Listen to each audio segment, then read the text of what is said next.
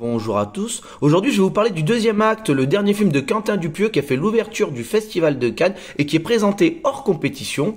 Un film avec Léa Seydoux, Vincent Lindon, Louis Garrel et Raphaël Quénard. Le film nous raconte l'histoire de Florence qui veut présenter David, l'homme dont elle est follement amoureuse à son père Guillaume. Cependant, David n'est pas attiré par Florence et souhaite s'en débarrasser en la jetant dans les bras de son ami Willy. Les quatre personnages se retrouvent dans un restaurant au milieu de nulle part.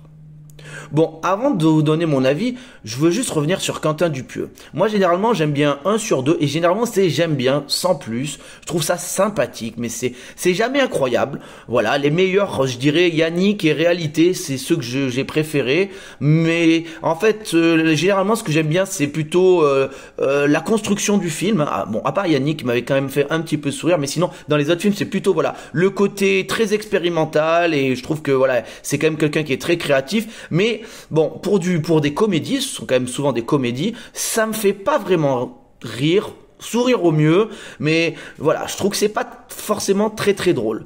Euh, voilà, donc ce film-là, c'est vrai que c'est pas le film le plus original de Quentin Dupieux, même s'il y a quand même un côté assez loufoque et que voilà, c'est on reconnaît la patte Dupieux et que euh, c'est il y a quand même un voilà, il y a, un truc dans le film, hein, il y a toujours un truc, mais voilà, c'est vrai que là je vais pas le révéler, mais ça fonctionne d'une certaine manière.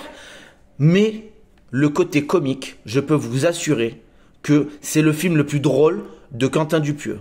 Euh, moi, je crois pas avoir souvenir d'avoir vu un film où j'avais autant rigolé dans une salle de cinéma. J'ai passé mon ma séance à rigoler. Et pourtant, je vous savais que je rigole pas très souvent et j'ai du mal avec les comédies. Mais là, j'ai pleuré de rire tout le film. Tout le film. C'est une très très grande réussite. Euh, donc, on commence par un plan séquence, une discussion entre euh, le Louis Garrel et Raphaël Quénard. 10 minutes, mais vous, vous en pouvez plus. C'est tellement c'est drôle. Ensuite, on part sur la même chose, mais avec Léa Seydoux et Vincent Lindon. Les cinq premières minutes, on se dit bon, c'est vrai que c'est moins drôle, et ça finit très très très très bien. Voilà, on commence pareil à se remarrer. On arrive dans le restaurant là, au bout de 20 minutes de film, on se dit non mais ça y est, ça peut pas être drôle comme ça. Et là, c'est reparti. C'est reparti. Donc, c'est drôle tout le film, vraiment. Et euh, surtout, donc, parlons des acteurs. En fait, euh, Raphaël Quénard, dès qu'il ouvre la bouche, vous rigolez. C'est pas possible, ce type. Ce type, c'est un génie. Là, pendant tout le film, c'est simple. À chaque fois qu'il parle, on rigole. Tout le temps. Euh, donc ensuite Vincent Lindon, il est aussi très très drôle dans un autre style, très très pince sans rire, mais voilà parce que bon c'est vrai que oui euh, Raphaël Quénard voilà il raconte que des conneries quoi, et il est un peu bébête et c'est ça qui nous fait rire. Donc voilà c'est Vincent Lindon, c'est dans un style très brut et tout, très drôle aussi, très très drôle. Euh, je dirais que Léa Seydoux c'est celle qui est la moins drôle des quatre. Hein? Bon, euh, mais elle a quand même des moments à elle. Et puis euh, Louis Garrel, il commence à avoir par le rôle très sérieux. Et puis finalement, pareil, il a ses moments où il fait rire aussi. Euh, donc voilà, les, quatre comédiens sont quand même très très bien choisis et le, quatuor fonctionne extrêmement bien. Voilà. Bon, on a un cinquième personnage, mais qui a un tout petit rôle, donc voilà, j'en parlerai pas plus que ça, même si voilà, il fait le taf quand même. Hein. Donc euh, le découpage du film, voilà, est, très, vraiment très intéressant. Voilà, il y a, un, y a un, un, espèce de de leitmotiv dans le film que je vais que je vais pas je vais pas donner parce que sinon ça ça serait spoiler le film. Mais en tout cas, ça fonctionne extrêmement bien.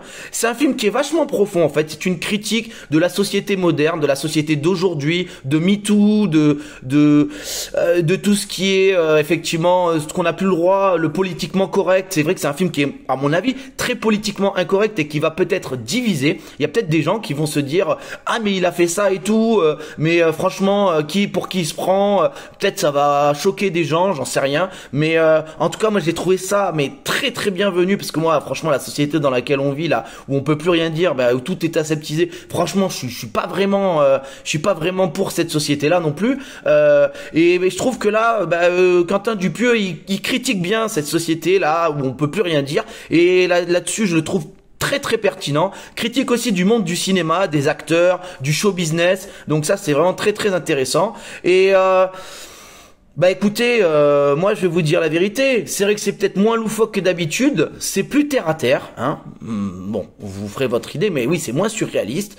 Mais moi, je garantis que c'est mon film préféré de Dupieux, mais, mais à des millions d'années avant. Et c'est la meilleure comédie que j'ai vue depuis 15 ans. J'ai, je, je, clairement. Donc, euh, j'ai J'ai adoré ce film, je je peux pas vous le dire mieux. J'ai que vous conseille d'aller voir 1h20, ça passe à une vitesse, j'ai envie d'aller le revoir, je vous le dis direct. Là, je l'ai vu hier, j'ai envie d'aller le revoir. Donc c'est une réussite en tout point. Surtout, ne vous spoilez pas le film parce que voilà, y a, ça marche avec un gimmick et du coup, faut, faut pas se le. Tout a été fait pour pas donner les clés aux, spectateurs quand on voit, on a la surprise. Gardez votre surprise et euh, surtout allez voir ce film parce que vous allez vraiment rigoler. Hein. Et en plus de ça, c'est intelligent comme film. C'est les dialogues font mouche. Il y a des, il y a des punchlines incroyables. Non, non, franchement, c'est incroyable. Donc euh, voilà, je, je sais pas la perfection, hein, donc je, je vais enlever le petit point, mais en tout cas, je vais mettre la note de 9 sur 10 et je vous conseille vraiment d'aller voir ce chef-d'œuvre.